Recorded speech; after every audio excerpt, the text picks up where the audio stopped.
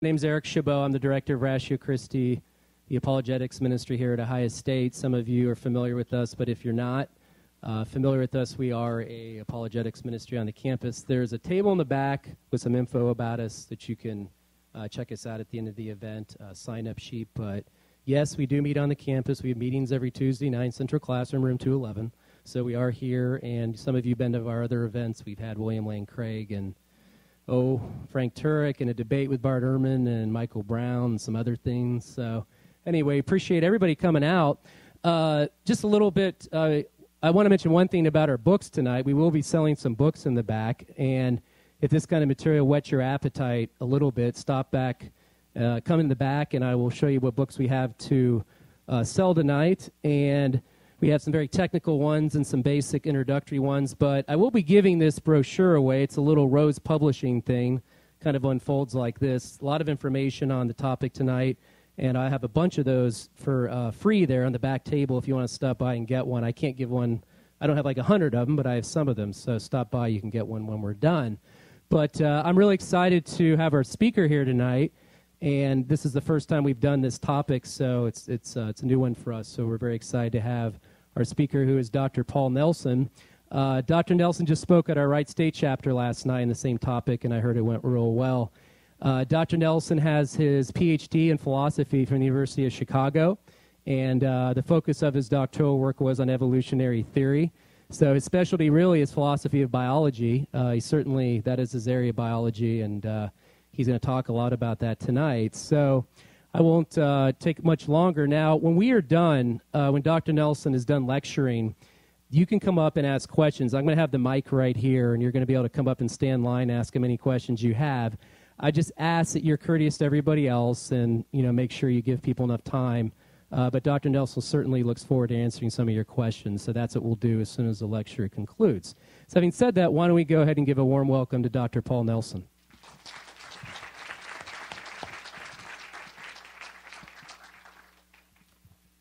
It's a great pleasure to be here. Um, I know I shouldn't start with a shameless uh, plea for sympathy, but I'm here actually under significant personal duress. Uh, I, I, probably shouldn't tell you this, but my wife uh, grew up north of here. You know, you know the name of the town. Her father was a professor of medicine at a little school in a little town called Ann Arbor. And um, her red blood cells, and they are red, are all tattooed blue. Uh, so when she heard I was going to be here, she was not happy. Um, but this is a beautiful campus. Before uh, the event tonight, I walked around a little bit. I was here years ago for a conference, and I forgot just how lovely this campus is. But you didn't hear me say that, and please don't tell her. All right, understanding intelligent design. Now, uh, as with many topics that have deep personal connections, this is a topic that inspires a lot of heat. Uh, and for that reason, it can get rather warm in a room like this as the discussion goes on. So I hope we'll try in our interactions tonight to shed as much light as we do heat. But let me tell you the fun part of the night for me, and that's the Q&A. Because I know what I'm going to say, right? I've, I've been through these slides. I know what I'm going to say. What I don't know is what you're going to say and how you're going to react to the material. So I'm going to try to get through my prepared remarks as quickly as I can so that we'll have plenty of time for interaction, uh, which, as I said, is the fun part of the night for someone like me. All right, there's a can of soup. And it's got a familiar label. And I'm sure for many of you, intelligent design is that. In fact, you'd say, look, it's just, it's just relabeling something that we knew about a long time ago to improve its marketability. But really, it's the same old soup. When you take the lid off and put it in a pot, you know, it, it amounts to creationism. So, my first goal tonight is to show you that intelligent design actually doesn't, when you first grasp the idea, have anything to do at all with theology. In fact, it's something something that you do every day if you took the trouble to stop and think about how you negotiate your day as a rational human being, you use the concept of design all the time. And I'll give you some examples of this, just to kind of prime the pump and get your intuitions going. Here's the first one. This is a real story.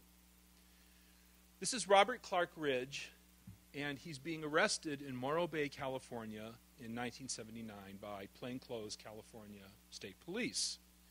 Now, that's his legal name, but he was also known by this moniker, Mint Jelly Ridge. And the reason for that name should be clear to you in just a moment. All right, now, thought experiment. And again, this is a real story, but you need to sort of fit yourself into the account.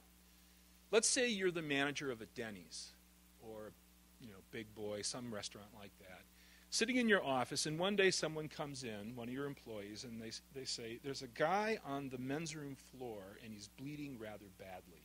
So you go in there, and sure enough, there he is. He's bleeding badly, lying on the floor, and he says, I slipped on some jelly. You know those little packets that you get at Denny's? And it's a mess. There's blood everywhere, and he's going to sue, threatens to sue. But then he says, Look, why don't you just give me $500 cash or a check for $500? I'll sign something, we'll call it even. And you think, now, this is the information you have, what I've just described. And you think, as the manager, if we go to court, we stand to lose a lot more than $500. I'm just going to make an immediate cash settlement with this guy, send him on his way, and we'll avoid litigation. Now, if that's all the information you had as the manager, you might well give him the money. But an insurance company would not because of this little detail. Insurance companies discovered soon after they were formed that if they wanted to keep in the bank what they had there, namely cash, they needed to pool information with other insurance companies about the claims that they had paid. Because it's in getting a large sample of claims that you can detect anomalous patterns, like this one. Now, this is taken from an account that went through the career of Robert Clark Ridge. All right, so you're the manager at this restaurant, okay? Let's say it's in Denver. Then in Tucson, same guy, same flavor of jelly. Now, no one in this room is going to let this pattern go as just unremarkable or write it off to chance. Because these events have independent probabilities, and one of the rules of probability theory is when you have independent events, you put a multiplication sign between them to get the joint probability of both events. There's a scene in the movie Casino, which I'm sure a lot of you have seen, where Robert De Niro is chewing out the manager of the slot machines. And on that day, three of the large machines, $15,000 jackpots, hit at the same time. And De Niro, and I, will have to leave the F bombs out of the account, he says to the manager, Don't you realize that this cannot happen unless someone cheated? One machine, maybe. Two machines, never, because those probabilities are independent. And three machines, you know it's, it's cheating. So, different restaurant in the western United States, same guy, same favor of jelly, cash exchanging hands. When you see this pattern, and again, it doesn't matter what else you believe about the world. If you're a theist, agnostic, atheist, Buddhist, skeptic, it doesn't matter. No one is going to let him get away with it and, you know, give him any more money. Mint Jelly was not out to get him. He's a slip and fall artist. That's what they're called in insurance fraud. No more cash is going to exchange hands. In fact, what happened was because he never varied his story, uh, and he would have to go to the emergency room afterwards because to make his falls realistic, he kept open cuts on one of his arms, which actually was nearly gangrenous by the time they arrested him. It's a heck of a way to make a living. Anyway, because he never varied his story, the insurance investigators told uh, police and ER doctors if someone shows up claiming to have slipped on mint jelly, find a way to hold him because we're going to arrest him. And he ended up in jail. Handcuffs. Now, the point of the story is this happens all the time in human life, where a certain pattern of evidence, when you're confronted with it, triggers in you a response. And that response is not to invoke chance or some random collocation of events, but rather to say a mind or an intelligence was implicated in that pattern coming about. Although I wouldn't really call this intelligent design because, you know, just get a job for sake you know.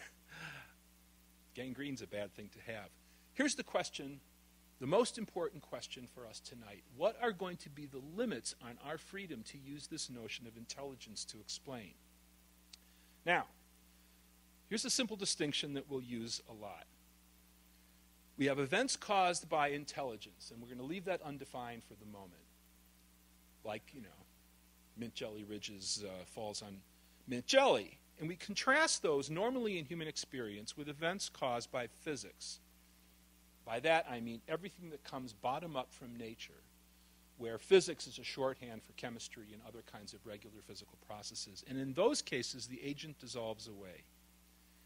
And in fact, it's important that the agent dissolve away because this distinction is very critical to a lot of what we do in human life. Imagine if you were serving on a criminal jury and it was a capital crime case, murder. And the defense attorney managed to persuade you that the defendant, who's charged with murder, actually had a brain tumor. And he shows, you know, x rays, and doctors come in and testify. And what the defense attorney does is provide a physical story for why the event happened. In other words, the murder was committed not as an act of free will, as a genuine murder, but because the person couldn't help themselves. There was a physical cause acting on them, and they didn't really have any agency, any free will. They just, you know, did something bad, but it wasn't their fault. You wouldn't hold them guilty. Because we make this distinction and we put a lot of weight on it. We say there are some events that are caused by a mind and others that are caused by nature. And you can find that distinction actually going deep into human antiquity. Greek philosophers arguing about is the world better explained by intelligence or by physics hundreds of years before Christ.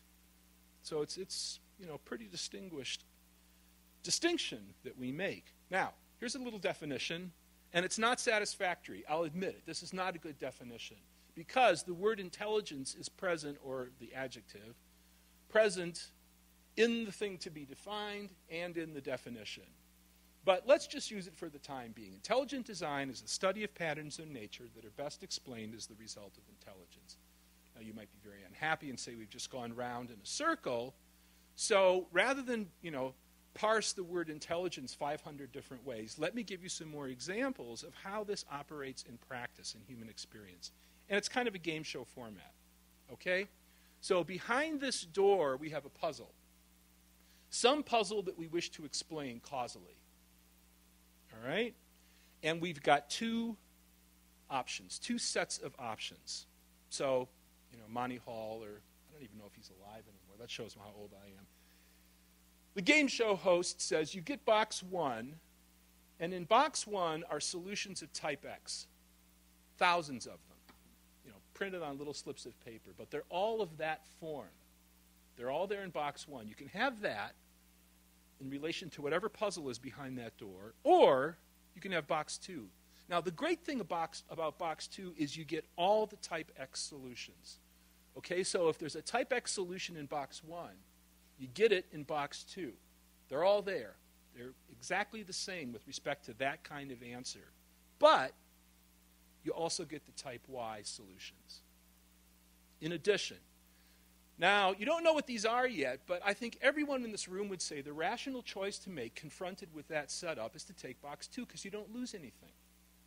Everything that's there in box one is going to be there in two, plus you get this additional option should you need it, depending on what is you know, behind that door. All right, so anybody here uh, study mineralogy, geology? You recognize that? I see a hand back. Quartz. Mm. Go Ohio State. This is quartz, and you can grow it. I can give you the recipe for quartz. You have to get silicon and oxygen ions in the right ratio in solution, and you can grow it. In fact, watch manufacturers like uh, Timex and other corporations grow great big vats of these because if you put a current through quartz, it oscillates at a very high frequency, and you can step that frequency down. It's quite regular, and run a watch with it. All right, so let's look at our boxes. And let's say type X solutions are all those based on physics. We don't need the Y solutions in this case. Box 1 will be perfectly adequate, but box 2 would do the job as well. All right, now, how about this? If you know what it is, don't say. Give everybody a chance to look at it. Beautiful little symmetrical kind of glassy buttons. Quick show of hands. Who thinks these are artificial? You don't have to hold your hand up, just kind of wave it a little bit. Usually I get about half the audience thinks that they're artificial. These are tektites. When they were first discovered, there was a long debate in geology about whether they were natural or artificial objects. Now, in a case like this, box 2 is looking a lot more attractive because of the Y type solutions. And let's say these are the design type solutions, those involving a mind. You can read about this debate. It was fascinating. You had some geologists saying there's no way a natural process could make that beautiful, symmetrical little glassy button. And other geologists saying, wait a minute, wait a minute, let's be sure. Well, it turns out that there's a pretty good explanation in terms of what happens when a meteoritic body causes a melt at high impact.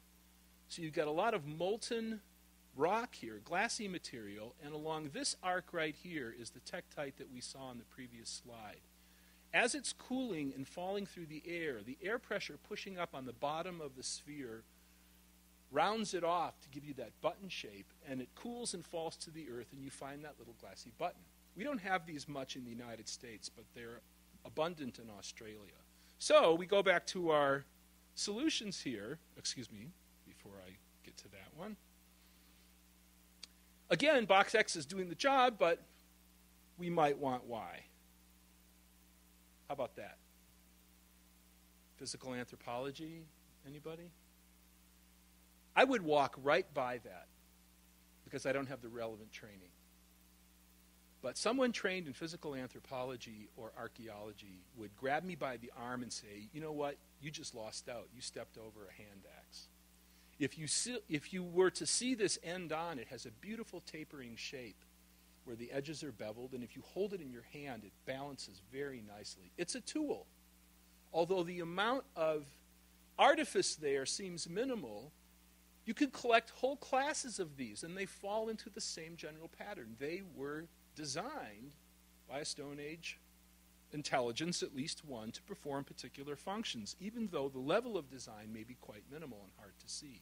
Now, here, that's going to fail. And for the science of archaeology, we need that option of a mind, not a strictly physical cause. And in a case like this, it's obvious. No one is going to say pigment arranges itself on board in that pattern without the agency of Leonardo.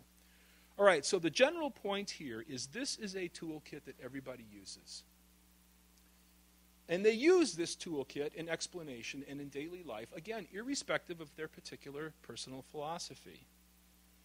Now, you might say, look, I didn't come here tonight to hear about hand axes. You know, these are not examples from the natural sciences. All right, let me give you an example from the natural sciences where the integrity of science itself depends on our ability to detect the action of intelligence. And we can go back to our game show setup if you do this, if you exclude mind arbitrarily before the evidence has a chance to speak for itself, you cannot do what is necessary in this next story. Again, a true story. You can read it about it in a wonderful book came out about uh, two years ago called Fantastic Plastic by a great young science writer in Boston. Hendrik Schoen was a young physicist at Bell Labs in solid state physics who was on his way to a Nobel Prize. He had a string of high profile papers in journals like Nature and Science that made the front page of the New York Times. The results were so significant.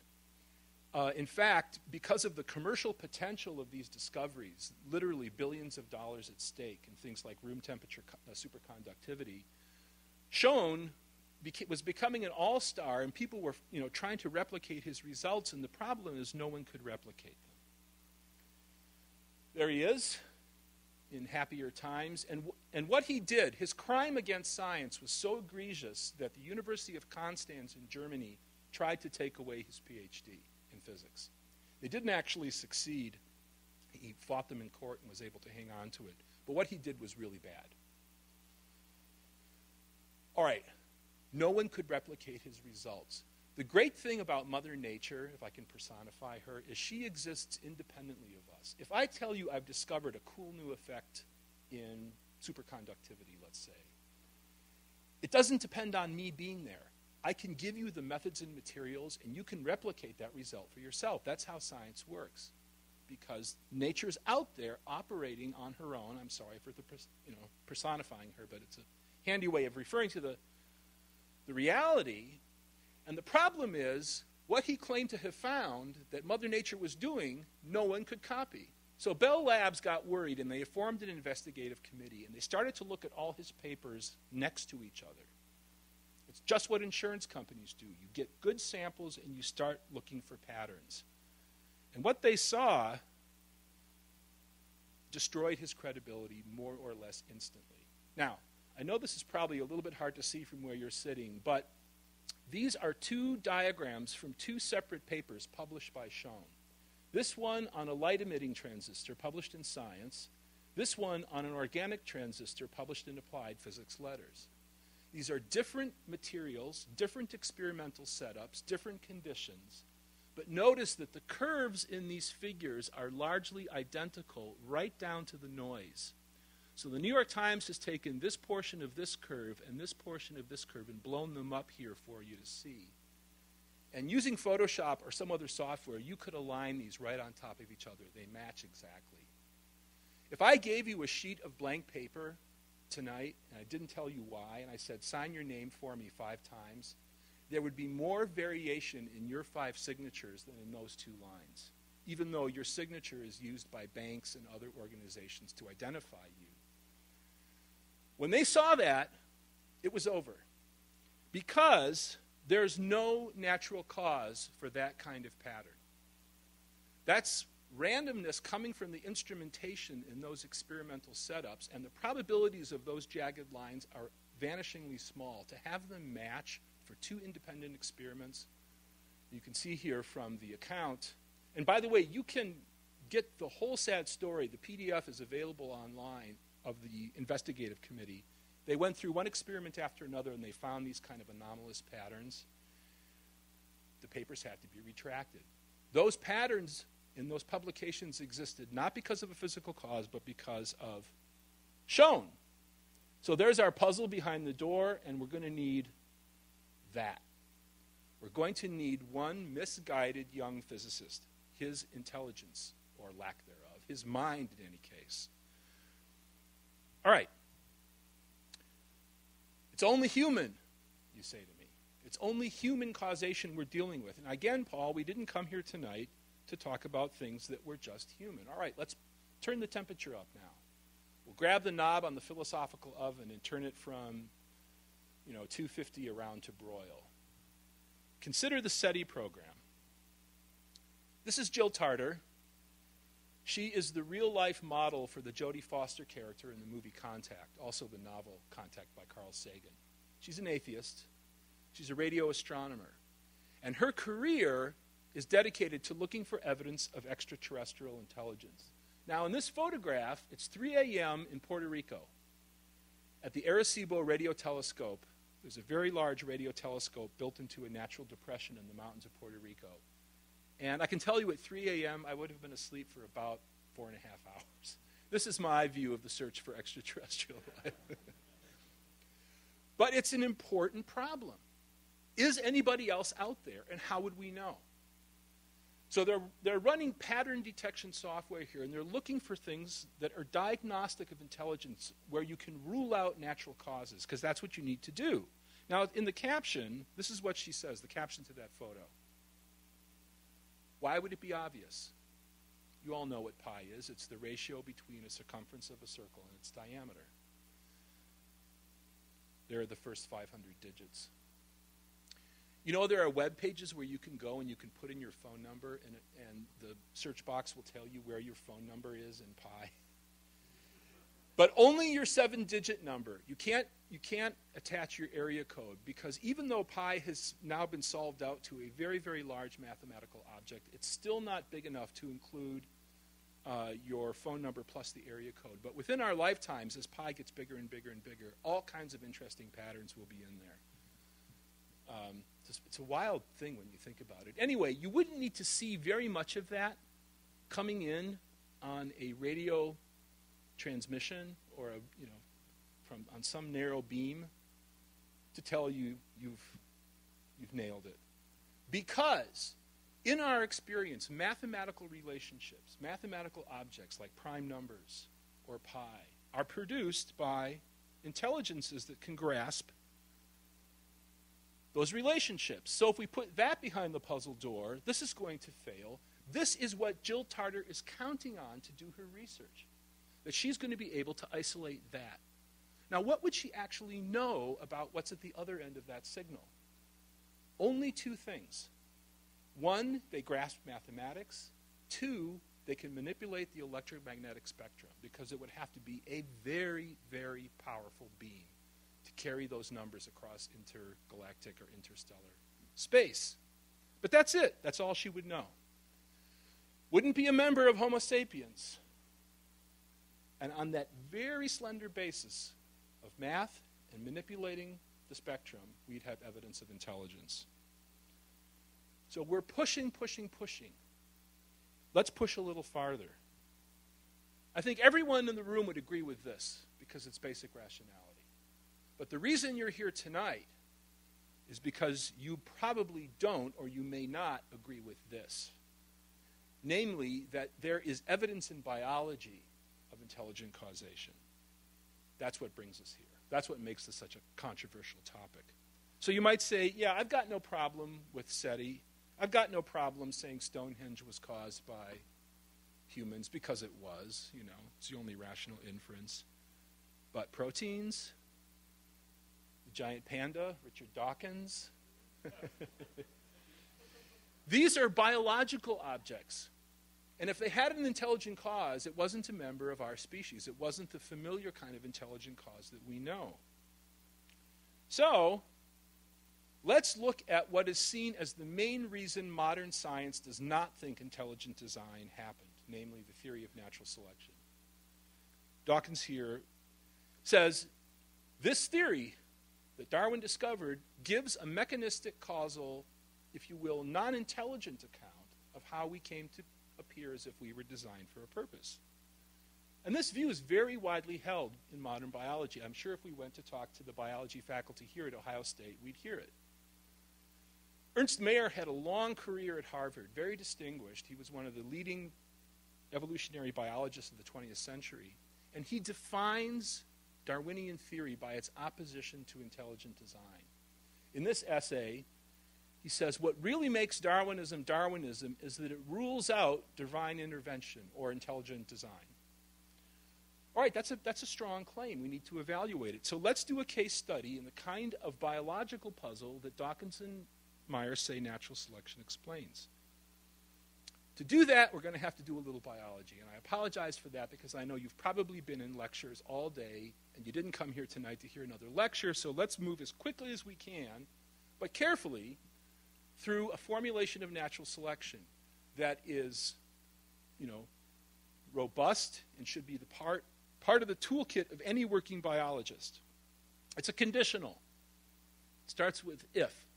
If the three conditions I'm going to describe exist, natural selection will occur. Well, the first one is variation in some trait. So if you look around the room, just within Homo sapiens, you see tremendous amount of variation from the single protein level all the way up to complex behavior. There are differences within our species. Those differences should make a difference to the number of offspring that you have, where some trait that you have affects your reproductive output, increases it.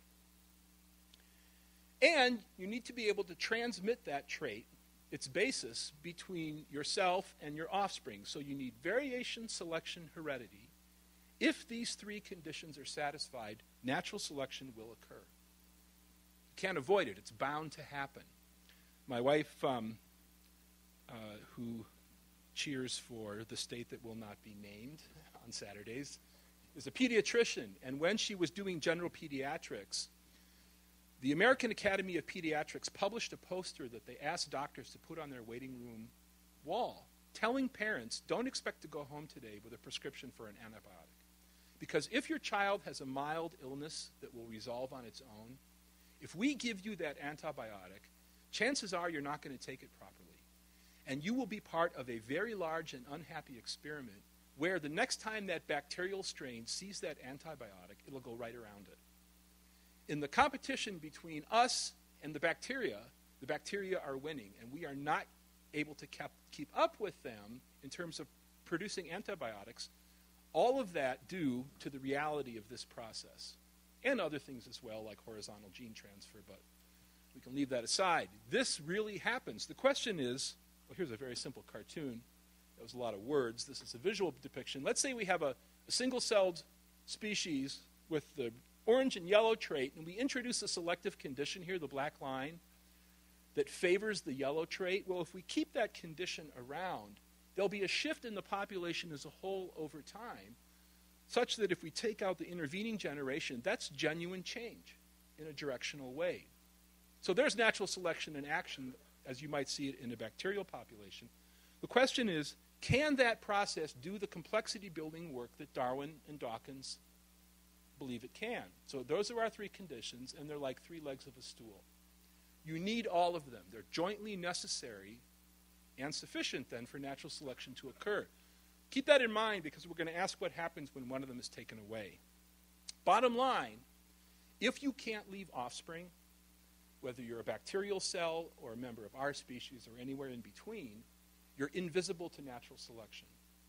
So if I had the physique of Michael Phelps, which I very obviously do not, and uh, you know the brain of uh, let's say um, Stephen Hawking. Great body, great brain, but I'm sterile, right? My gonads are not producing viable sperm. I'm invisible to natural selection. It doesn't matter what else is good about me. The process, if I can personify it again, can't see me. I have to tell you, though, on March 16, 1992, Beth Israel Hospital in Boston, my wife and I, mostly my wife, I was a minor contributor, uh, successfully passed on genetic information to my now 20 year old daughter, Hannah. So, in that respect, I'm more fit than lots of other people who haven't done that. But natural selection as a causal process leaves many evolutionary biologists unhappy. This is not widely known, but it's the case. So here's an example. Conrad Waddington was an embryologist, one of the leaders in the neo Darwinian synthesis in the 1960s. And at a famous meeting in Philadelphia, he put it this way he said, The whole real guts of evolution, I love that phrase, which is how do you come to have horses and tigers and things, is outside the mathematical theory. That is what we really want evolution to explain how we came to have different types of animals, different types of plants, and so forth, is left to one side by textbook theory. What he means here is population genetics. Coming closer to the present, you can find the same kind of disenchantment right throughout the biological literature. Andreas Wagner is a theorist at uh, University of Zurich, and in this paper published about a year ago, he said we just don't know. Few of the principles that explain how li- living things innovate can be accessed by natural selection and random variation. He concludes, he says, as the geneticist Hugo de Vries said in 1905, so that's, this has been a long standing problem. Natural selection may explain the survival of the fittest, but it cannot explain the arrival. Here's why. For the next 10 minutes or so, I'm going to talk just about animals. Textbook theory never solved the problem of macroevolution, horses and tigers and things, because animals do not vary the way that natural selection requires. Now, to show you why, let's look at developmental biology, which was a missing piece in the neo Darwinian account of evolution. This is one of my heroes, Francis Crick, depicted here near the end of his life. He worked at the Salk Institute in the last part of his life, Southern California. And in this paper, from a evolutionary biologist in the UK, Gabriel Dover. Dover describes going to work with Crick at the Salk Institute, and Crick had a well-deserved reputation for being a gadfly. So he would confront people in the lunchroom or in the hallway and buttonhole them, you know, literally buttonhole them and say, I can tell you why you, you won't be able to solve the problem that you're working on. You don't really understand it. I mean, it was kind of offensive, actually, but more often than not, Crick was right. So Dover is saying he made me feel like a 10 year old when I went to work with him on the problem of macroevolution. And here's why. Crick said to Dover, You can't solve the problem of evolution until you know how organisms are put together. Now, what could he mean by that? What he means is the following. Let's suppose, and I, apologize for these cartoons. Obviously, real organisms, I'll show you one in a moment, are more interesting than shapes in PowerPoint. But let's say we want to transform species A, which has this shape, into something like species B, where all of us would, would consider that a macroevolutionary transition. If A is an animal, it starts with a single cell, a fertilized egg. It's going to be built by a developmental process that's rather complicated, where there's an unfolding arborescence of developmental decisions that gets you from that single cell eventually to the adult. So, if that's how A is constructed, and that's how B is constructed, to get A to turn into B, we've got to change the construction process. We've got to change the developmental pathway leading to those points. So when Crick says to Dover, you can't solve evolution until you know how this process works, what he means is this knowledge of how development works is pri- has got to be primary in your understanding if that's the transition in evolution that you wish to explain. Now, here's an important thing to keep in mind. The one thing you can't do if you're evolving is be temporarily dead. no temporarily, like, you know, 30 seconds dead, 10 seconds dead, doesn't matter, not allowed. So if our transition that we're trying to explain takes us through this, on those grounds alone, we can rule it out. That couldn't have happened. In fact, this rule is used widely in evolutionary biology by investigators to adjudicate the plausibility of each other's stories. They'll say, look, you're not going to get through that stage. However, this transition happened, it didn't happen this way, where these are developmental pathways here that are being modified. And here's the example we'll use gorgeous creatures. I fell in love with them about two years ago because I was involved in making a movie about butterflies. The North American monarch is a really amazing creature. The ones that hatched in late August, early September around here are on their way to Mexico. They are flying 2,500 miles to the mountains outside Mexico City using their onboard GPS. And these butterflies live nine months. Most butterflies in that species, the rest of the year, live three to four weeks. The ones that go to Mexico shut down their reproductive behavior, and they take a very long trip indeed. I won't talk about it tonight, but it's absolutely amazing. Now, I want to give you a metaphor for thinking about animal development that's actually more than a metaphor, it's really pretty accurate. Tomorrow I'm driving to Pittsburgh. Those of you from the area know it has lots of chasms like this, some of them pretty deep, which are spanned by bridges. And let's say this is deep enough that you definitely do not want to be in free fall to the bottom. Animal development is like a magic bridge in the following sense. This would be right at home in an Indiana Jones movie. Let's say this is a thousand feet, and you're over here, and you see this bridge, and you start walking from that side over there. As long as you keep moving, the bridge will be there beneath your feet. The minute you stop, you know, look over or tie your shoe or whatever, the bridge disappears and down you go. Animal development is like this in the following sense. Once that fertilized egg begins to divide, it has to get to the end of its trajectory to be functional. For the sake of evolution, or if we think about it in terms of evolution, it's got to be able to reach reproductive capability, which is way over here in the adult state. So, single celled organism, fertilized egg, divides, divides, and its progeny cells divide, and they're heading across here. If all goes well, they'll make it to reproductive capability. That's a real problem for natural selection because natural selection may be powerful, and it is, but it's supremely dumb. If a new variation is going to be selected, it has to work now, at this particular slice in time, let's say. There's no saving a variation for later, like, oh, that's a handy mutant, you know, I'll need it 100 generations from now, I'll just keep it around. The selection process requires immediate functionality. So, building these long, slender bridges across to a distant target is going to be a real challenge for natural selection. We'll come back to this slide later. Think about these, these questions. What kind of cause can do that? Can aim at a distant functional target? Can reuse genes and proteins depending on the context? Can establish the system first, that is, the whole organismal system first, and then put the pieces in place? I'll answer that question later, but keep those in mind. Now, another he- childhood hero of mine, Harry Houdini, being lowered by his feet into a water box. Three of his assistants kind of gamely watching there. What's the one thing Houdini will not let himself do as he's being lowered in? He's not going in without a backup plan, and probably a backup plan for the backup plan.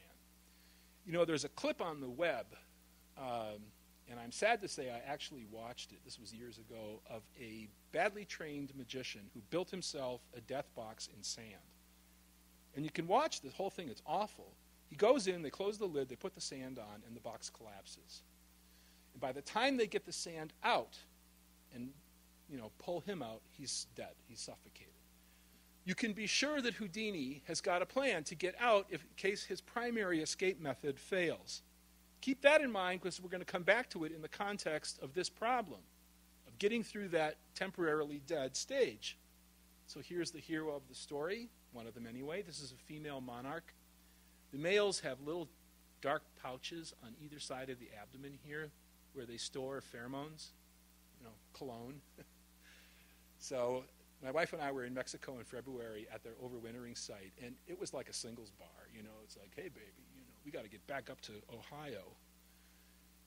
They use the pheromone. The males use the pheromones for what males and females do. I don't, don't need to go into details, but here's the life cycle of a monarch. Probably, you know, you remember this from grade school biology. Egg, I'm a beautiful butterfly. Basically, an eating machine. You know, it, it will multiply. The caterpillar will multiply its weight 3,000 times between hatching and when it goes into the in, into the chrysalis. So that's the life cycle. Here's some of the details. There's the egg, carefully deposited on the underside of a milkweed leaf by the mother. Beautiful things when you look at them close up. There's a little breathing hole here on the top of the egg. Some of you may have seen this the formation of the chrysalis, the, the uh, caterpillar f- uh, forms itself into this characteristic J shape, and then it spins around carefully to make sure it's not touching anything. Because when the chrysalis forms, if the chrysalis is touching anything, it will be damaged. So, this is the mystery stage. I want to show you something cool about this the cremaster and its silk pad where it attaches. This is a SEM of the cremaster, which is the hook type apparatus at the end of the chrysalis, and there's a silk pad that the caterpillar spins and deposits on the twig. Let me zoom in a little bit here. These hooks entangle into those silk strands like natural Velcro. Actually, Velcro is a copy of this kind of system in nature. Think about this from an engineering perspective. What would be the point of having the hooks if you didn't have the silk pad there to snag onto? But why have the silk pad if you don't have the hooks to do the job? So each of those components is necessary for that function. So there it is. And it gets the name chrysalis from these brilliant gold dots. They're a little hard to see in this slide that cover the surface or sort of decorate the surface of the chrysalis. No one knows what they do. Other species have them as well. In sunshine, they glitter. You can see them a long way off. What's going on here? In the seven to ten days that the butterfly or the caterpillar turning into a butterfly is within there, the first thing that happens is massive cell death. The caterpillar is literally digesting itself away through carefully regulated processes that are uh, uh, known as apoptosis and autophagy. This literally means eating yourself. So it's being turned into a soup. I didn't have the heart to do it, but uh, in Florida, when we were filming the movie, a worker at a butterfly reserve there took a monarch chrysalis and took a scalpel and sliced it sort of head to tail along this axis and poured the contents out on a cover slip. And it looks like transparent jello. There's no structure to, that you can discern there. I couldn't do it because I want the caterpillar to make it, you know, to, to get a chance to be a butterfly. So that's the first thing that's happened that happens is chewing yourself up. Then cell populations that were present in very, very small form in the caterpillar, plus the raw materials that come from this, turn into the structures of the adult butterfly. So if we go to the other end of the story, after about a week, you can see the uh, exterior of the chrysalis begins to thin and it gets very dark, and you can make out the butterfly within. Then the chrysalis case cracks along the head to tail axis here. Out comes the butterfly. And it does a couple of things at that point. The first thing it does is it pumps up its wings. When the wings first come out, they're very soft and velvety, useless for flight. So, using muscles in its abdomen, it pumps fluid through these veins to extend the wings, and then they dry and become hard to enable flight. But what it does that's really cool is it makes its proboscis. I don't know how well you can see, but there's a little curling tongue here. And when it first comes out, it's in two pieces, like two halves of a straw. Half a straw is not a straw. Half a straw will provide no suction for you. But in each side of those pieces are little channels that fit together. So what the butterfly does is it unrolls that tongue to knit those two halves together to make a functional drinking tube. Again, from an engineering perspective, what's the value of half a straw? You need both pieces plus the behavior of unrolling it to put it together. All right, let's go back to Houdini going into his box. And we all know he's not going in unless he knows how to get out, plus having a backup plan in case something should go wrong. The alternative is unacceptable to Houdini? Well, in a very real sense, the caterpillar faces the same problem. It will not form this structure unless there is a well programmed plan to get out. In the course of evolution, there was no point at which the caterpillar said, the thing to do today is to digest 85% of my tissue down to amino acids. And then we'll look and see what happens after that point. you're not going to form a chrysalis unless you've got a plan for getting out the other side. How did natural selection, a very powerful but supremely dumb process, get through that stage and back out, given that it has no foresight? This cannot happen in evolution. But for all appearances, when you're in a chrysalis for a week, you are neither caterpillar nor butterfly. You are waiting to turn into a butterfly. The question, the scientific question, and I've put this to biological audiences on several occasions natural selection as a causal process does not seem to be able to build these kinds of networks if reproductive output is over here. Now, this is a very simple kind of animal, hypothetical animal. Five cells arranged in this, arranged in this linear pattern. But let's say to get them there from our starting point, we need this cell lineage, this branching of cell division. If reproductive output is over here, it's very hard to see how natural selection could put the instructions in place to do this to get you over there, given that one of its necessary conditions is well downstream. Organisms today solve the problem of building embryos by having parents that give them the instructions. But this won't work for evolution because, after all, it's the origin of the whole system that we wish to explain. We can't invoke it. You know, it would be a natural miracle, a naturalistic miracle, I, could, I should say. Now, look, this problem was well known to Darwin 150 years ago. It's much harder to solve today because the amount that we know about butterflies is greatly increased. We know the proteins, or at least some of them that are involved. We know the developmental process, at least some of the details, things that Darwin didn't know. The problem is so hard to solve from a Darwinian perspective that some scientists, like this gentleman here, have resorted to rather creative solutions. Now, there's a, there's a backstory to this paper that was published in the Proceedings of the National Academy uh, in 2009 that's worth telling. This paper was so controversial that after it appeared, the National Academy as an organization eliminated the pathway that this author used to publish the paper. There used to be a route into publication where if you knew a member of the National Academy, and he did, he was friends with Lynn Margulis, maverick evolutionary biologist, your National Academy friend could fast track your paper and speed up the review process and get the paper into print.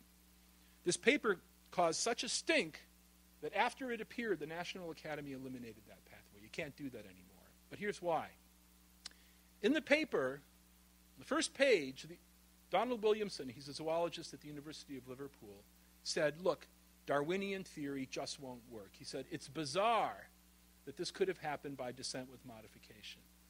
Because caterpillars and what they turn into, those life stages are so different that you could not build it in a step by step way using a process like natural selection. He said, It just won't work. We need to try something very different. So here's his solution start with something that kind of looks like a caterpillar. It's a velvet worm. We actually don't have them in North America. You have to go to other parts of the world to see them. Uh, and it's not in the same phylum, the same large taxonomic group as insects. But, you know, it does kind of look like a caterpillar. It's got the tubular shape and the little stubby legs and so forth. So that gives you your caterpillar half of the story. Then, Williamson says, find some arthropod, some insect, that doesn't go through a metamorphosis, like grasshoppers. When grasshoppers are born, newly hatched baby grasshoppers look very much like the adult into which they're going to grow. Their wings will get a little bigger, they'll develop their sex organs, but grasshoppers kind of always look like grasshoppers. They never go through this complete metamorphosis that we see in butterflies. All right, so caterpillar half of the story, insect half of the story, flying insect probably, and they get together in a singles bar and it all works out. That's never, ever going to happen. That would be like you hybridizing with a clam. Okay? The, I'm sorry, you guys laugh, but I admire his courage for doing this, even though he got in a lot of trouble, because what he said was the existing explanations are so poor, the Darwinian explanations, that we need to try this kind of radical hybridization hypothesis. Which, you know, it's a bold conjecture, it's never going to happen. The genetic incompatibilities alone would cause the system to crash, even if you were able to fertilize across this great distance.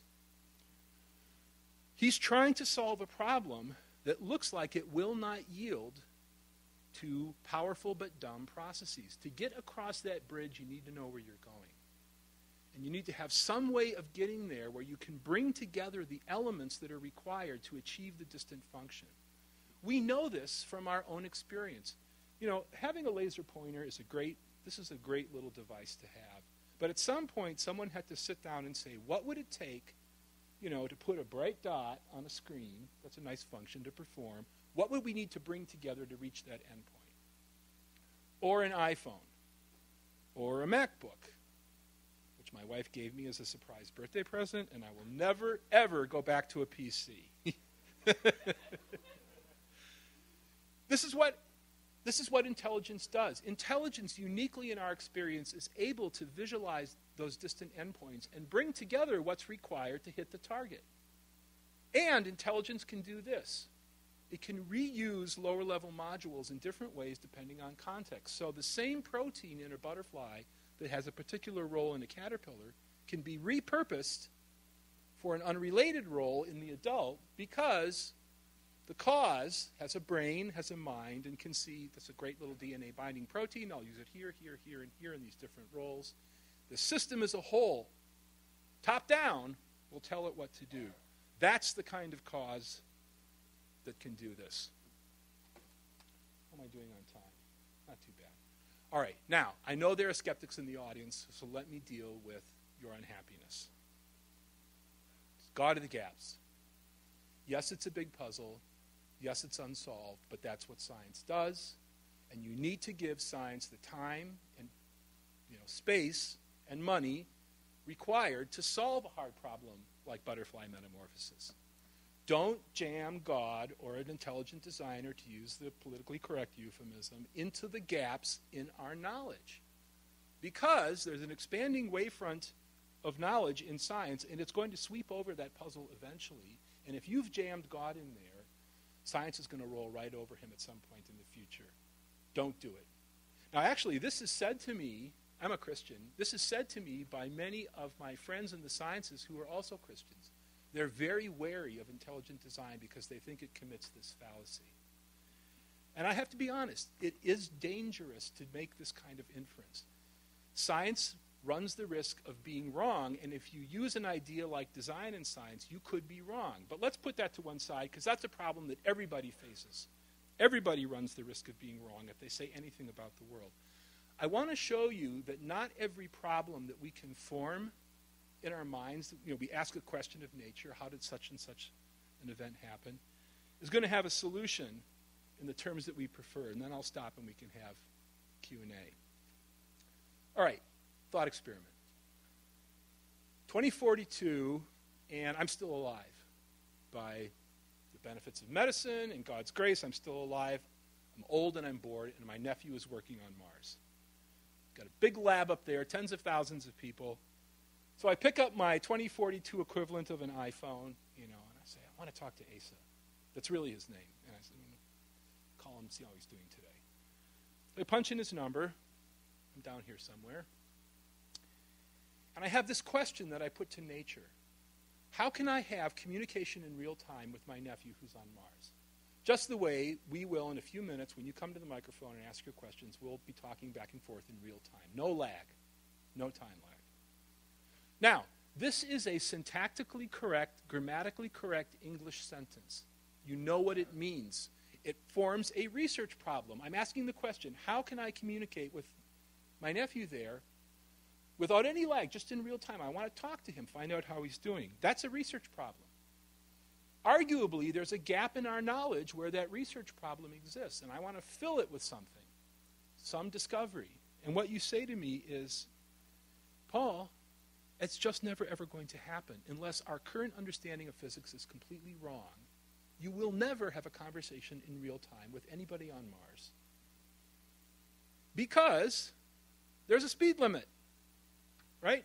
So Mars comes as close as it does to the Earth right about now in the fall.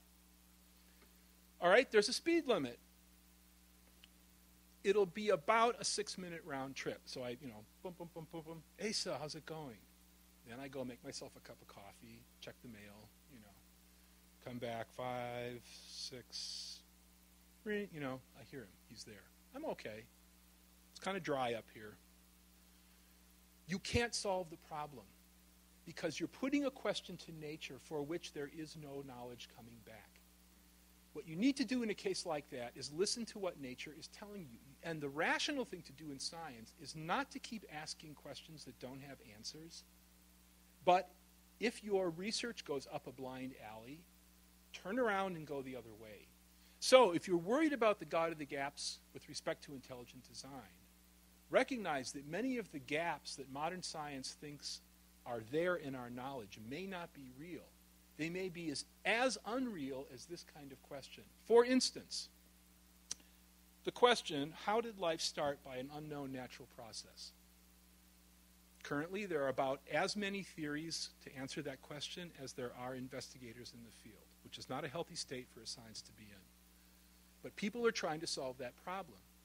If it turns out that the first cell did not come about by, uh, by a chemical pathway,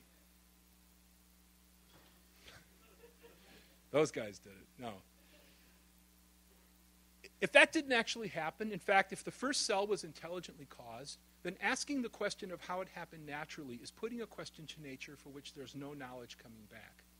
And it doesn't matter how hard you work or how long you try, you're just not going to learn the answer until you listen to what nature is telling you. So, in a case like that, you change the question. Your background assumptions were erroneous, so you change the question, you try a different path. You don't keep butting your head into the wall at the end of that alley, you know, until you get a big bloody spot there. The problem of macroevolution, as I've described it, may be unsolved not because we haven't tried hard enough, but because the questions we're asking are wrong. And we need to consider the possibility that these objects, including this one, were caused by intelligence, not by a natural process. And we need to allow that possibility back into science where it was when Darwin was a young man. When Darwin set sail on the Beagle as a 22 year old, uh, the possibility of intelligent design was live in science. In fact, you could say that evolutionary theory itself came out of a theistic cradle. Unfortunately, evolutionary biology pulled the ladder up behind itself after they, think, after they thought they solved the problem, the ladder that Darwin himself used, and I just want to get that ladder back down on the ground. All right, I, I probably ran way over. I'm sorry. Let's, uh, doing okay? All right. Um, I've got more slides, but you've probably listened long enough. So why don't we have some Q&A, which, as I said, is the fun part of the night for me. Thank you for being so attentive. You've been a wonderful audience.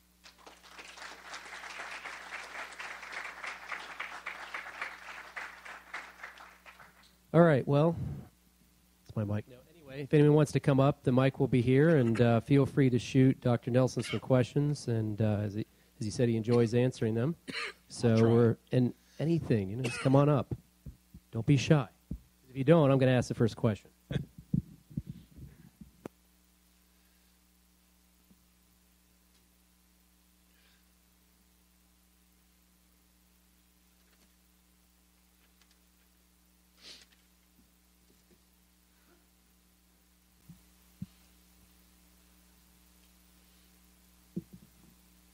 How does the complexity of organisms be explained except by design? How does the coagulation system, the utterly complex, the immune system, color vision, etc. And this is Dr. Behe's argument. How can that be explained? It's too complex, except by Thank you for your question. Um, I guess what I would say is that uh, complexity by itself uh, could be explained by chance or by intelligence. Uh, after all, a, uh, a pile of rubble, I walked by the building site just north, is it north of here? Anyway, they're, they're putting it, looks like a new heating facility. There's lots of rubble in that part of the campus. And if we went down there and looked at it and calculated all the possible ways that that rubble could have been arranged, the particular patterns of rubble in that building yard are extremely improbable.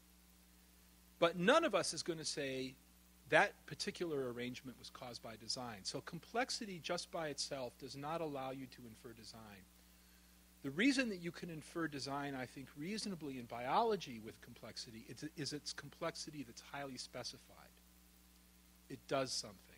So in the cases you mentioned of the, of the blood clotting cascade, there's a particular functional target being hit by that system. Organisms that produce blood need to keep the blood inside.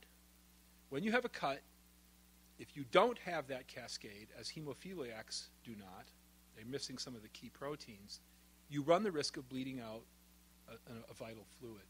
So there's a particular, very tightly focused functional target that the complexity is, is aimed at. And I think the other things you mentioned, such as vision and so forth, uh, provide not just a complex system. Everyone agrees it's complex, but there's a second arm to the pincer, and that is it's specified in terms of its function. And again, I would say universally in our experience, when we see that complexity with a particular pattern that's being hit, it's a reliable indicator of design. And it's really the only reasonable explanation. So, in the case of my slide here, you know, in the first century AD, or the first century Common Era, when the island of Britain was becoming a colony of Rome, this was already thousands of years old. It's a very old arrangement of monoliths. And I'm sure the Roman centurions who saw it, those of you who have been there in the UK, it's on this plain outside Bath, they made an inference. Monoliths of that size and arrangement do not form patterns like this unless someone intended them to. It was true then that Stonehenge was designed complex pattern. It's true today. It will be true when our current theories of physics are long gone. These inferences to design that human beings make are among the most stable things that we know. So I'm, i guess I agree with you that complexity of the right type implicates design, and really it's the only reasonable explanation, unless you have a philosophical commitment to another kind of answer. And really, I didn't have time for this. Well, actually the very next slide. This rule dominates scientific thinking. It's an imperative. That's what I used to say to my daughters when they wanted to go to the mall and they hadn't done their homework. I'd use an imperative like that. They didn't have a choice, right? Homework first, mall later. This rule, which here is being announced by the National Academy of Sciences, tells you if you're an investigator, a scientific investigator, and you pop open the lid on your toolbox of possible causes, all that you're going to find in there are natural things and processes, where this means something without a mind. Now, Darwin himself would not have recognized this as a young man because he didn't actually believe it. Newton and Kepler would not have recognized that rule. But that rule constrains modern science in a way that I think is really unfortunate. And I would say that even if I were an atheist. Go back to my game show setup. I want all the possible options on the table because the world, the universe, is a very surprising place. And if I need that notion of intelligence to explain, I want it available to me. As a rule of thumb, well, maybe, yeah, you try the available natural causes, but you don't have to stop there. So, anyway, I'm sorry, that's a long winded answer to your question, but I think set free from this rule, the reasonable thing to infer when you see the specified complexity of life is an intelligent cause. I can't believe the rest of you agree with me. That's really surprising. There's got to be some people out there who really disagree. No? It's only Tuesday. I mean, if this was a Friday talk, you could all be reasonably tired, but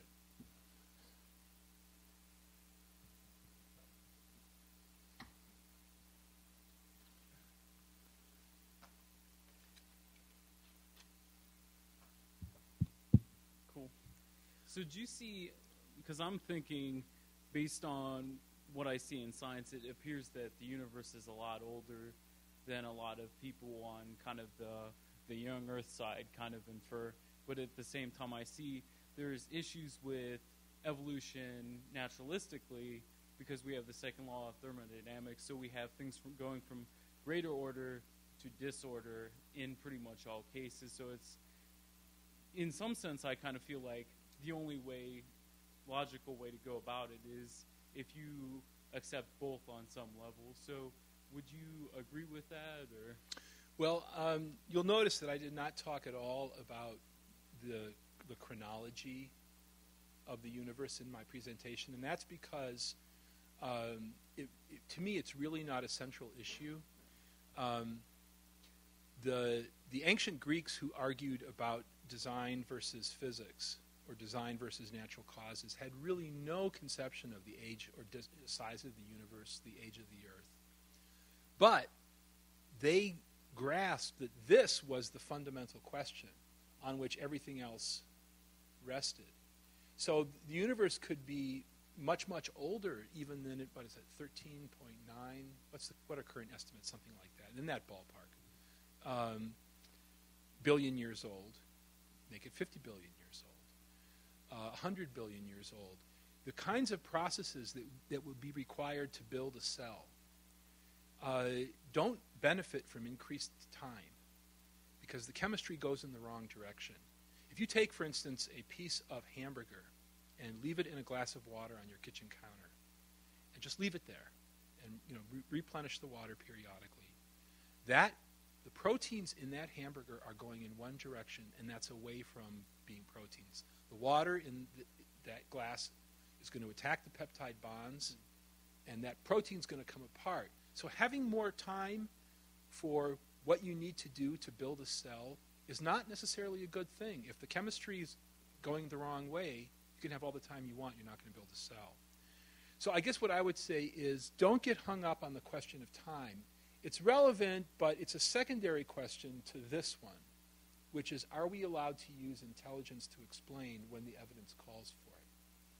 I think anyone in this room who wants to who thinks of themselves as a free, curious human being should never accept a restriction like this without an adequate justification.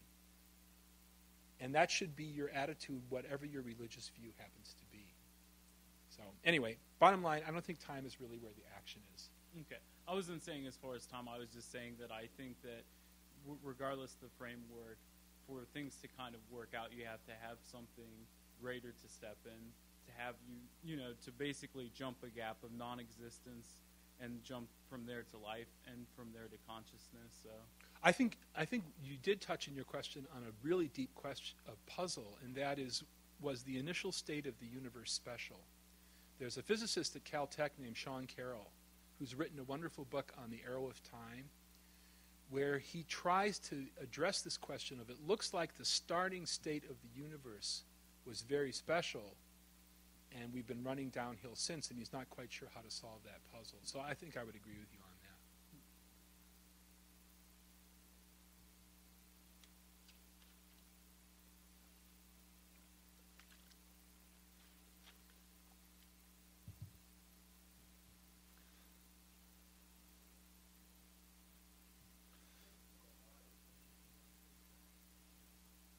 Um, I just had.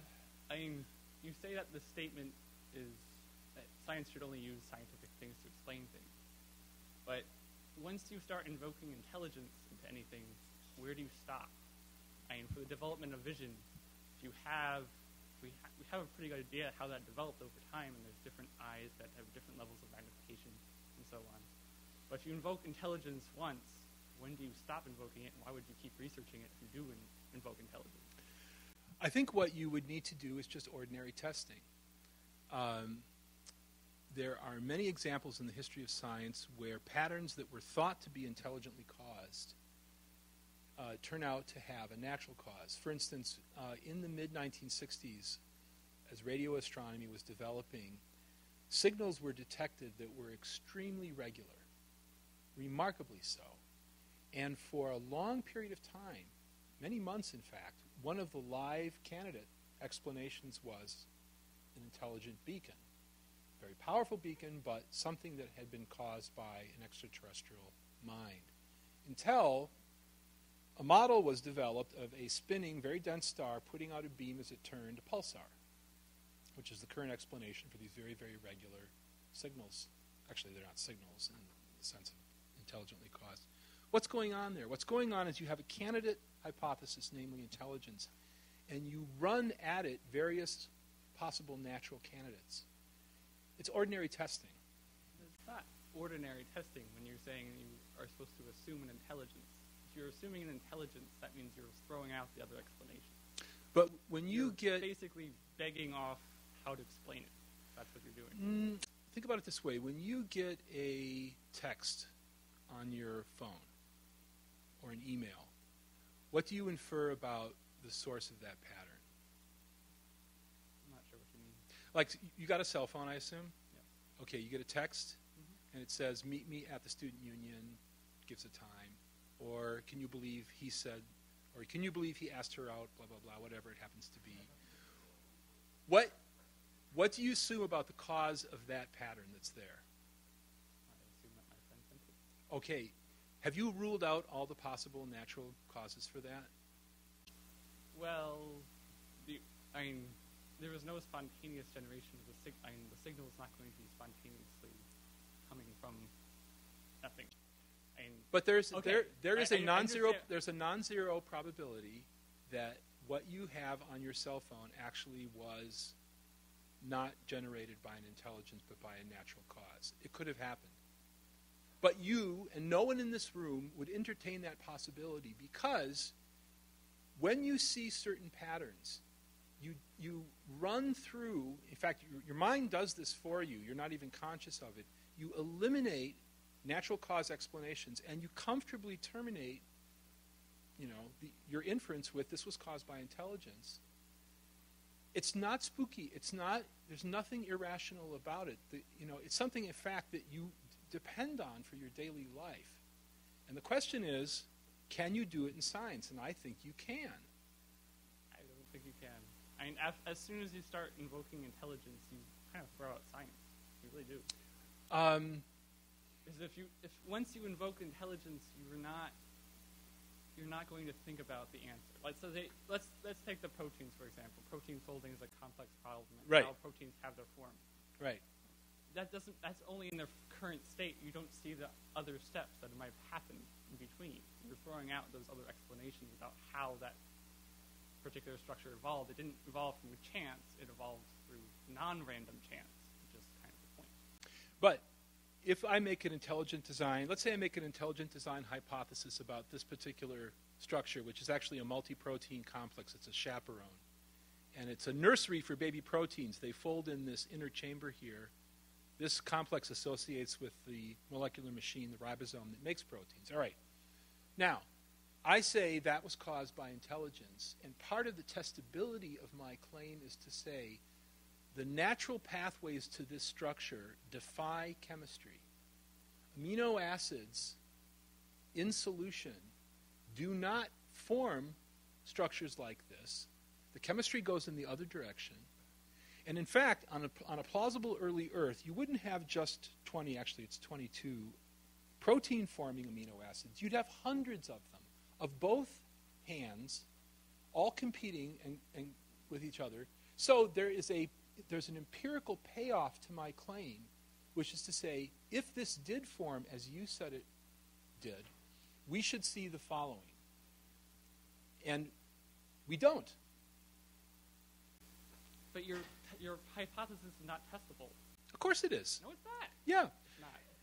It is not If I say if I say that the natural behavior of amino acids in water is the following, we can go in the lab and see if that's true. Yes, but there's a big but there. Your but is that there's nothing controlling the process. If I'll, I'll give you an example. So if you have monkeys typing on a computer, trying to type Hamlet, and you have and basically you leave them at it. You have hundreds of millions of chimpanzees trying to type at computers to make this Hamlet. It's not going to happen in the age of the universe. But if you have, if you like, I guess you concentrate on one chimpanzee, he writes a certain number of characters that Hamlet is, and you just preserve the letters that he got right, then that Can I stop you right there? Who knows what's right? The head chimp? I mean, someone has got to be Well- keeping track of what uh, and and preserving those occasional variations that are closer to Hamlet than gibberish. The problem with that kind of example is unless you provide the target antecedently and have some way of saving the correct variations on your way to the target, the chimps are going to wander on a random walk and they will never get any closer to Hamlet than gibberish. Well, yes, but if intermediate forms have functional capability in other ways, then you can get there. I would agree, but only if the function lies along a pathway where each step of the way can be preserved by something like natural selection. The problem for the scenario with the proteins is that this has its function when it is doing its particular job. That point lies well downstream from the actual chemistry involved in building this. So I think uh, we'll have to move on to the next question. I think the difference between us is that you think design is not testable, and I think it's actually tested all the time. Uh, in fact, I'll tell you something funny. If you want to have a productive career in science, attack intelligent design. The journals, the best journals in the world, will throw their doors open to you. Um, you can publish a paper in Nature or Science critiquing intelligent design, and it'll go in just like that. There are people who are doing this. It's funny because Darwin's first exposure to evolution as a young man was reading criticism of the idea from his mentor, uh, Charles Lyell. Future scientists may have their first exposure to intelligent design by reading critiques of it. But I'm sorry, it's a good question you raised, but we really should move on. I mean, just for the chaperone proteins, if it's not a chaperone protein in the beginning, doesn't mean it can't be evolved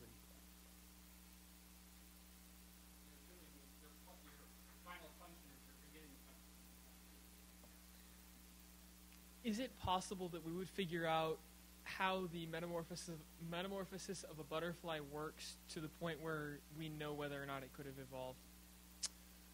Um, I think so. Actually, I would say that uh, that with increased knowledge, you're going to you're going to go in one of two directions. Either the evolutionary pathway will become more and more clear, or the implausibility of any kind of evolutionary pathway will become more and more clear. So the great thing about science, one of the great things, is that knowledge does accumulate, and as it accumulates, certain hypotheses, you know, become less plausible.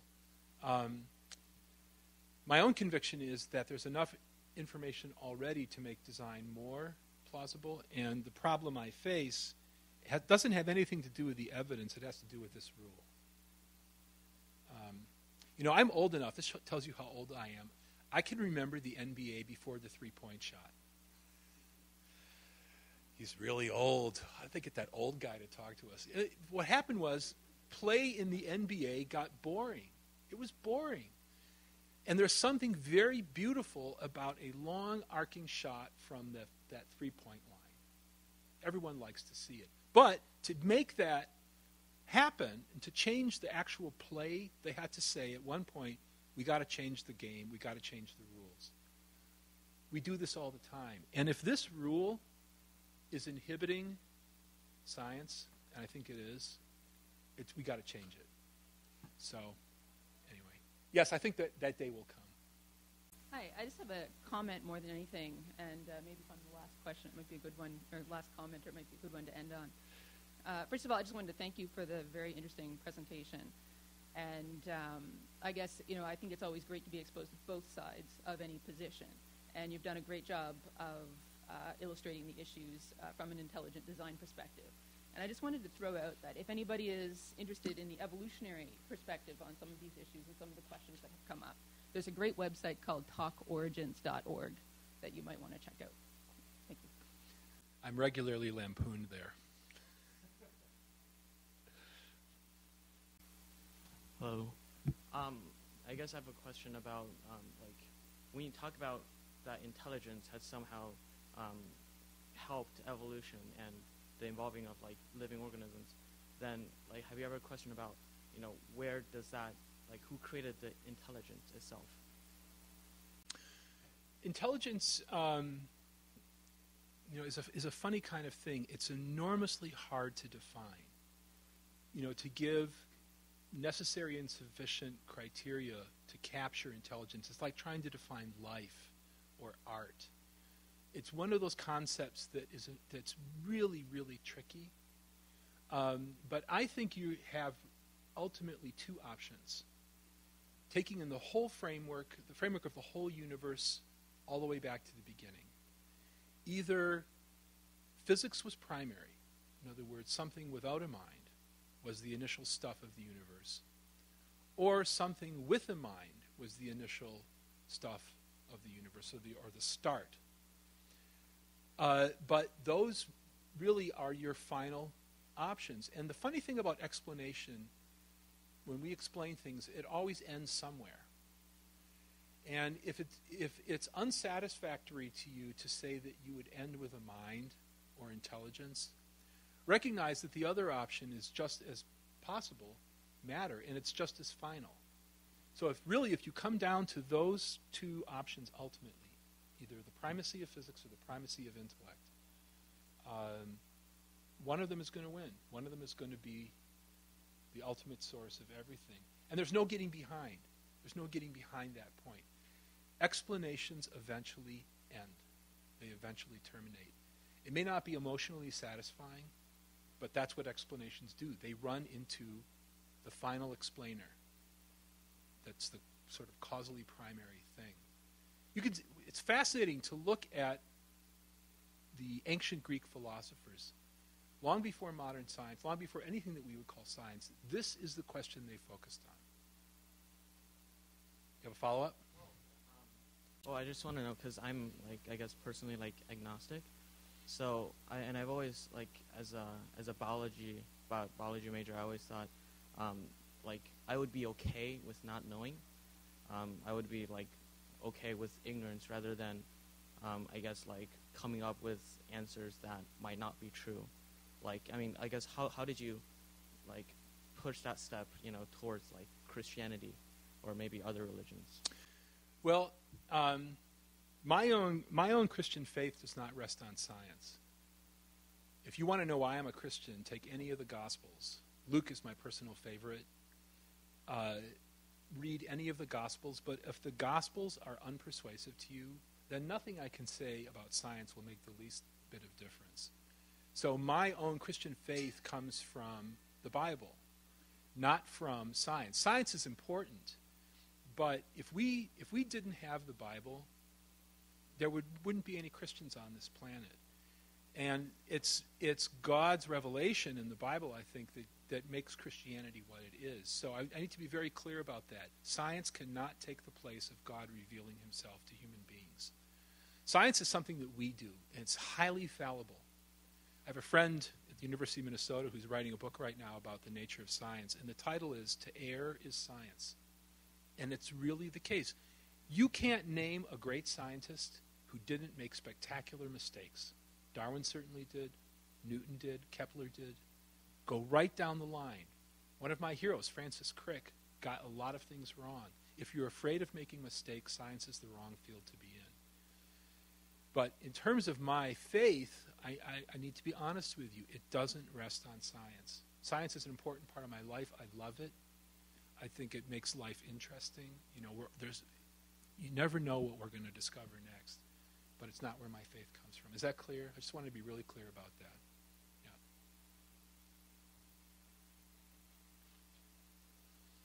Hi. Um, sometimes people make this fundamental mistake of like getting confused with science, like natural science, versus the scientific method, which I think is like the mistake in everyone's question. So could you explain that articulately, like the difference between like the scientific method that's used in also sociology, which is not a natural science.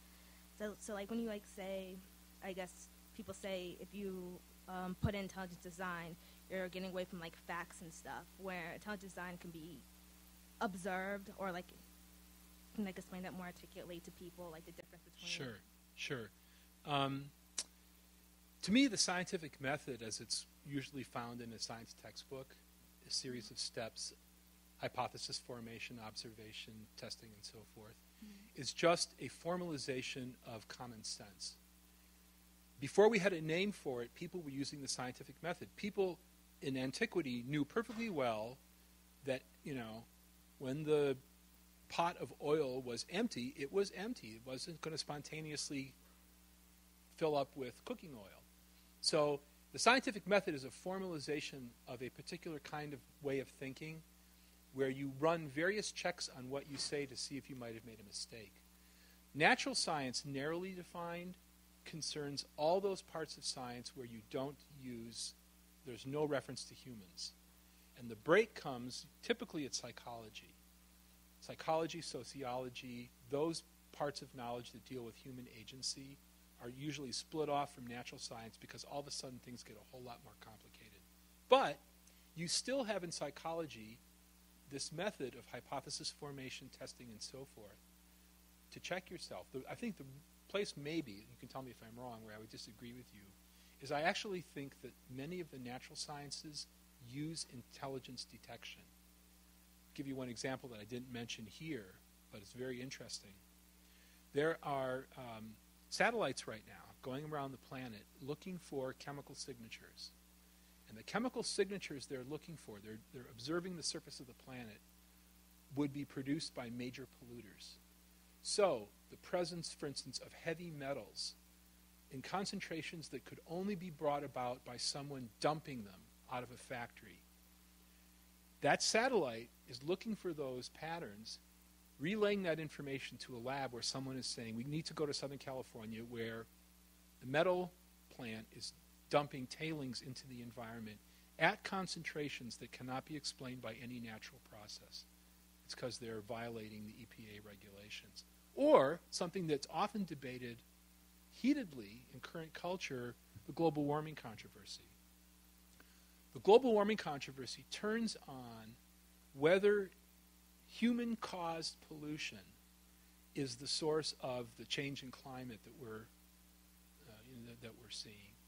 And that depends on being able to distinguish what we do from what nature herself does. So I think there are lots of natural sciences, you know, on the natural science side of the split that actually use intelligence detection. It's just not called that. So anyway, you have an unhappy expression. So. Oh no, sorry. No, I was just asking you to explain. I wasn't like making the comment. I want, you, I want you to explain that because people get them confused sometimes. They don't yeah. like. They think like natural science is like defines what science means. Right. So. I just want you to, ex- to explain it. Okay. Well, I, I think of science, you know, science, actually, if you look at the origin of the word, comes from Latin, scientia, and it means knowledge. And if, it, if it's knowledge, I would be willing to call it science. So I have a rather broad definition of science, but I'm obviously a crazy person, so. um, thank you for your question. Um, okay, with all of the like concrete facts behind biology and chemistry and physics supporting intelligent design, why do you think scientists who are like trying to find the answer are so quick to discredit it, since they want to find the answer, but they would rather go and think of a different theory that doesn't have? That's an excellent question. And I, I hope I don't step on anyone's toes. Maybe I will. I'll try to tread lightly by answering it this way. If you think about evolution as Darwin came up with it, and compare it to other scientific theories like plate tectonics, the germ theory of disease, the wave particle duality of light, and so forth. So you run through all the scientific theories you know, then you look at evolution. Evolution is the theory about us. And because of that, it carries a lot more weight. When you have a theory that refers to your origin, or the origin of every human being that you know, including their moral behavior, uh, lots of things that, that really transcend natural science, it's impossible to keep the temperature in the room down. So I think uniquely of all scientific theories, evolution carries that baggage. And when you do something like what I'm doing, you challenge its adequacy, it's more than just a theory out there. It's the theory that refers to us. And because of that, politics gets involved, public school controversies, you name it. Makes it interesting, but it also makes it very hard, you know, to have a career. I'll tell you, I got a fellowship at University of Chicago in the philosophy department, even though I worked on evolutionary biology. I would never have had a fellowship in the biology program in a million years because even as an undergraduate, I had a certain notoriety for being a crazy person, you know. So the philosophers, they're they're just they are crazy. So they- they'll give fellowships, you know. they'll give fellowships to people like me, but it's really risky to be in a, bi- a biology program and to play around with these ideas. You can kill your your academic career unless you're very very cautious. Um, I like to tell people that it's a sad fact, but American biologists in particular have Scopes trial antibodies. So when they hear creation, evolution, challenging Darwin, all those you know, trigger phrases, they have the intellectual equivalent of a violent immune reaction. That's not the case in China. It's not the case in Europe. I've, when I've lectured in both of those settings, Christianity is sufficiently dead in Europe that it's not. They're so postmodern, it doesn't really scare them. There's no chance of of someone like George Bush being elected in France, let's say. So they can entertain challenges to Darwin much more easily than here in the United States, where the political controversy is really hot. And in China, when I was there in 1999, they were wide open. They don't have the Scopes trial antibodies, and they're wide open to considering alternatives. You know, if it doesn't work, it doesn't work. We'll try something else. So. Come on, there's got to be a few more good questions out there. Thanks, Dr. Nelson. Uh, do you think the notion of entropy plays a role in the advocacy of intelligent design?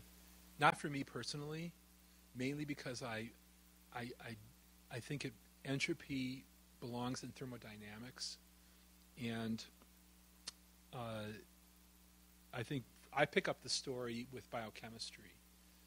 I'm sure there's some some thermodynamics in biochemistry, but the problem with entropy historically in this debate is that is the concept has been misused and misunderstood.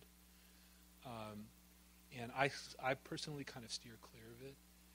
Uh, but you know, if we go back to to the chaperone here, just from biochemistry, you can get a pretty good handle on the natural behavior of the constituents of that protein complex. You know, a protein like that, or a protein complex like that, outside of a cell, is not going to get more complicated and interesting. The chemistry is going to drive it in, in completely the other direction. Um, in fact, uh, a colleague and I want to perform what we call the Humpty Dumpty experiment, where we take E. coli or some other bacterial cell, put it in a sterile buffer, and somehow perturb the membrane to allow the contents of the cell to pass out. Now, that cell, formally speaking, is dead. But everything that you would need, and you'd be thrilled to get in an origin of life experiment, like very long strands of DNA, a ribosome, polymerases, all the mo- molecular machinery for the cell is there. It's just going the wrong direction.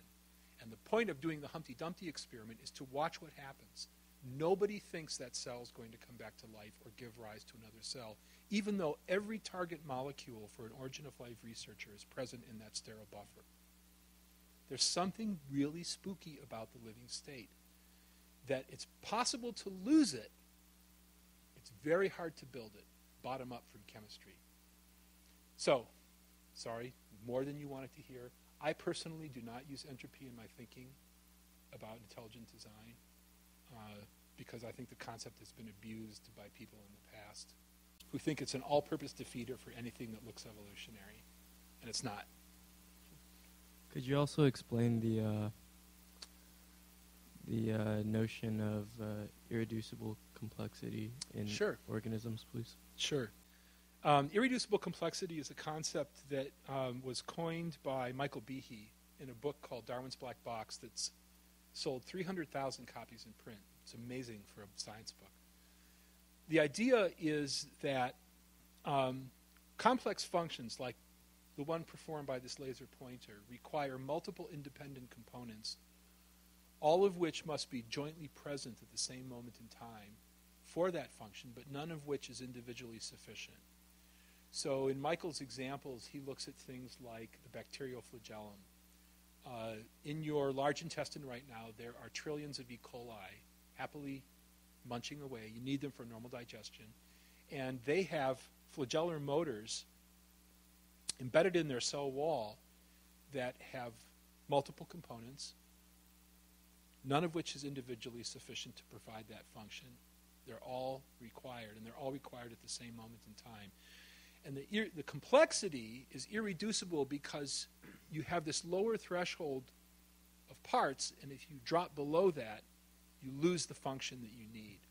So in that book, he looks at a multiple, multiple examples. Blood clotting is one. There are others, uh, and it's that book actually has generated a huge literature.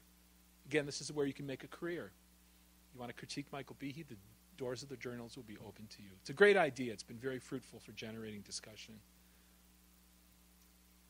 Um, this is slightly more personal, and I don't want to like reduce you to your faith, um, but I know Christians tend to, you know, the the point is the faith. The point isn't justification through science. Um, just out of curiosity, from your perspective, if you were to find evidence of God, and God just appeared in concrete fact, how would that affect your faith? Like if God showed up at my door on, Yeah. on Monday morning. I mean, um, I suppose, what's the difference in your mind? Um, or, yeah, how would that affect your faith if it was no longer faith, if it was based on actual concrete evidence? That's a really, really hard question. Um, well, here's a here's a puzzle that's always bothered me. Uh, if you look at the accounts in the New Testament of Jesus' miracles, um, the Pharisees who didn't believe he was the Son of God, they thought he was a bad guy indeed. They saw many of the miracles. You could not ask for better sense data. Right in front of them, he healed people right in front of them, he he did remarkable things. So they had first hand, you know, direct observational access to these events that are recounted in the Gospels. Yet, yet they said, you know, he casts out casts out demons by Beelzebub. It's an illogical explanation, but they were able to explain away what they saw, which means that the sense data come in, eyes, ears, you know, they're, they're taking in the information. Somewhere between the data and the conclusion, there's a disconnect. So the nature of faith is really puzzling because you could have the very best kind of evidence you could want. I mean, God could walk in here be kind of scary, but God walks in. He says, You know what? I'm going to make a really cool, I'm going to make a panda right here. Bam! panda. And probably a significant fraction of this audience would say, mm, you know, there was something in that food tonight. This is a world class hallucination, but I do not have reliable evidence of God. You can always change your standard. So the question you ask is really hard to answer because it touches on the mystery of what it is to have faith. Does faith rest on evidence, or is there an, another part of it that is not strictly evidential? So I frankly don't know how to answer that. Um, I mean, I'm, I'm, as certain as I am of my own name that, that God exists and, and loves me, but frankly, if God showed up, the first thing I would do is be terrified. But I'm not sure that it would have that persuasive power. For, for, for you know, people don't respond uniformly to evidence. It's a real mystery of what's going on there. It's kind of like the Cartesian, you know, the demon and whatnot. Thank you very much. You're welcome. Um, I'm interested in that rule you had from the National National Academy. Yeah. So you keep saying that it's holding back science and like it's constraining us. Are there any past examples where, okay, someone didn't have that rule and they discovered something because of because they were free to think that way, and if you could speculate wildly, what do you think would happen um, if this rule was gone? Um, first, first part of your question, uh, yeah, I would say that um, that much of Newton's work uh, was predicated on his belief that there was a supreme intelligence that built, for instance, the solar system, and that the peculiar features of our solar system, for instance, the fact that the planets all occur in a very narrow plane, with, with comets coming in on rather eccentric orbits, but the, the, the whole system having this kind of functional integrity that Newton said could really only be explained by intelligence. So if you look at the Principia, his masterpiece, and in particular at the General Scholium, he says, see if I can get an exact quote, this most beautiful system of sun, planets, and comets could only have proceeded from the, from the wise uh, something something of a, of a mind. You know, that's a fairly close paraphrase. Now, let's go back to 1700 when he's putting the Principia together and make him follow this. What's going to happen to his thinking at that point? Well, it's going to be constrained. The, the, the version that you have here in the Ohio State Library of Newton's masterpiece has the general scholium. It is a fact of scientific history that he thought about universal gravitation and so forth within a theistic framework and explicitly explained it within a theistic framework by reference to an intelligent cause. So as we come towards the present, what happens is the toolkit of science actually gets smaller in the middle of the 19th century. And the Darwinian revolution, I think this is in fact its most fundamental achievement, is to put this rule in place in a way that I think constrains constrains discovery. So that's one example. There are others that I could mention, but it's one that I find most striking. Um, I'm sorry, I forgot the second. Oh, what would happen? Nothing. Because science works by competition. And let's suppose I get a paper into print arguing that the ribosome is intelligently caused. That becomes a high profile target for literally thousands of qualified critics. They have it in their crosshairs. In fact, what happened with Mike Behe's book is that uh, Richard Lenski at Michigan State, uh, uh, a long list of critics, started to critique the paper in scientific, excuse me, critique the idea in scientific journals. And what happened was the ordinary process of testing and refutation. So you suspend the rule, and what happens is normal human reason takes over, and science goes on its way. We just have more options, but they will be tested and critiqued just like every other idea. The problem now is that if I wanted to get a paper into print about the ribosome, I would have to leave it as an unsolved problem. I would have to say something like the origin of the ribosome is a puzzle for evolution. And I, I wouldn't be able to take the next step and say I think it points to intelligent design. But I think of science as in, incredibly competitive, and it's, it's, a, it's a, a battle of ideas, and may the best idea win. And I just want to get rid of a rule that I think, you know, slowing the game down.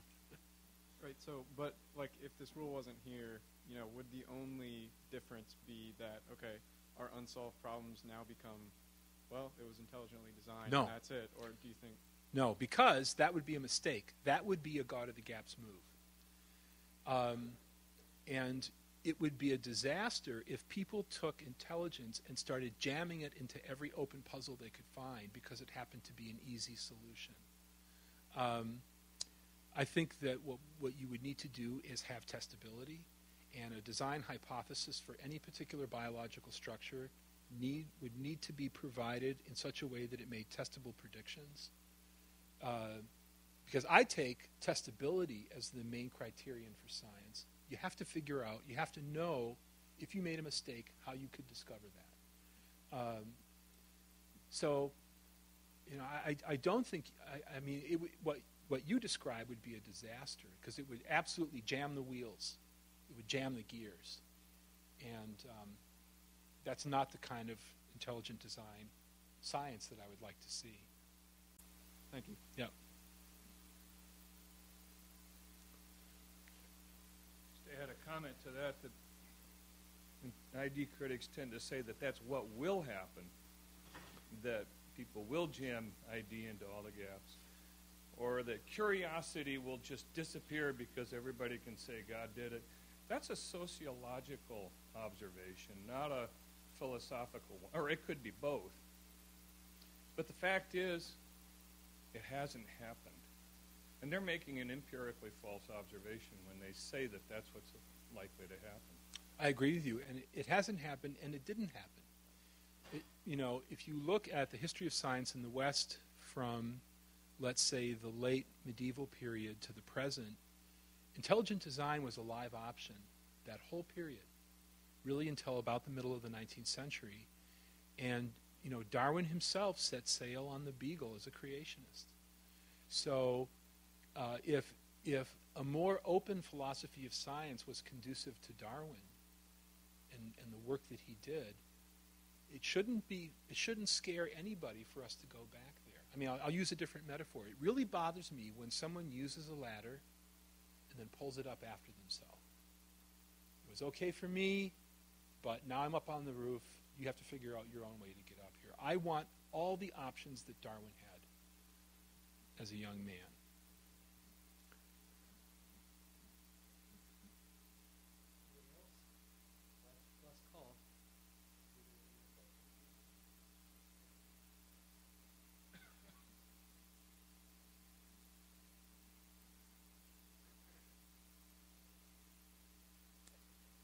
So you presented uh, two um, ways of solving puzzles.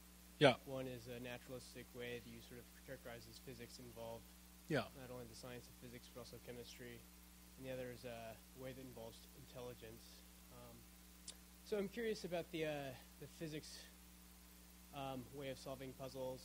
Uh, if you if you look at physics and chemistry, uh, there's a lot of complexity involved in the things that they study. Um, you can spend the rest of your life studying physics or chemistry, uh, exploring the regularities that you see there. Yeah. Um, so I'm wondering if those things, the incredible regularities uh, that you see, the, the physical uh, laws of physics, the laws of chemistry, Yeah. if you think those things um, uh, warrant some sort of a intelligent explanation. Um, I think that uh, if you take the universe in its totality, it is itself a contingent object. It, it, did not, it did not arise by any kind of necessity. And this is my own philosophical conviction. So there are design theorists uh, who are physicists who would say that the fine tuning of the physical constants uh, indicates a choice from a range of possible outcomes. electing a particular set of outcomes to make chemistry possible, to make biochemistry possible, to make the formation of this planet possible. And they would see the picking of certain choices in terms of, for instance, the, as I said, the, the constants, uh, as indicating an intellect operating. Now, I myself am not comfortable with that, not because it's not true or could not be argued for, but because I don't know enough physics. And I try to stay away from commenting on sciences where I have not put in a lot of study. So I'm sorry, but I, you know, I don't want to get myself in a jam talking about physics, especially at the level of cosmology, which is where your question would apply, when I don't really feel comfortable with the relevant science. I'm bracketing physics and chemistry uh, in the sense of saying these are these are causal processes that are very powerful and very regular. Um, you we all know what's going to happen to this object with mass if I let it go. You know, I won't because I've tried to do this before to illustrate a point didn't get my hand underneath it. This is a $60 laser pointer. I won't let it go, but we know what would happen with a probability approaching 1. It's going to head towards the center of this gravitational field. You look at those kinds of regularities and you say, can they generate the incompressible information in a single protein sequence or a single gene? So if you're going to build life bottom up using physics and chemistry, they have to be able to provide the information necessary to build a cell. And that information to me looks incompressible in the sense that if you want that protein, you're going to need the gene that codes for it, and that particular base sequence of DNA cannot be generated by any algorithm. To have that sequence, you need the sequence. In that sense, it's incompressible. An algorithm will not generate it for you. There's no shorter description that will provide that information. So if there are these discontinuities in the history of life on this planet, that seem to require information dense events and sources. I want science to be free to infer that and not have to obey a rule that wasn't always the case in science. It's very much historically a change, like a change in a, in a sport. You know, science woke up one day and said, we're not going to allow inferences to non human intelligence anymore. Even though it could have happened. It's off. It's off the table.